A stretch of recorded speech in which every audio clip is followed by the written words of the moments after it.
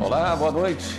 O ministro Edson Fachin, do Supremo Tribunal Federal, negou o trâmite à reclamação apresentada pela defesa de Lula, que questionava o início da execução provisória da pena do ex-presidente.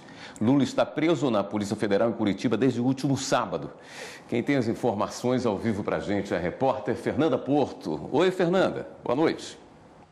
Oi, William, boa noite. Boa noite para você que está em casa. Na decisão, o ministro Edson Fachin enfatizou que a apresentação de novos embargos de declaração não contraria o entendimento do STF no julgamento de medidas cautelares das ações que tratam da prisão após condenação em segunda instância. Isso porque não tem efeito suspensivo. O ministro também enfatizou que a atual jurisprudência permite a prisão após condenação em segunda instância e que, além disso, na semana passada, o plenário da Corte negou o pedido de habeas corpus do ex-presidente Lula.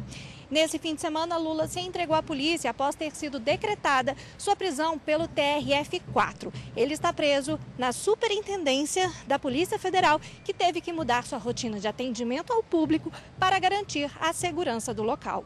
William. Obrigado, Fernando.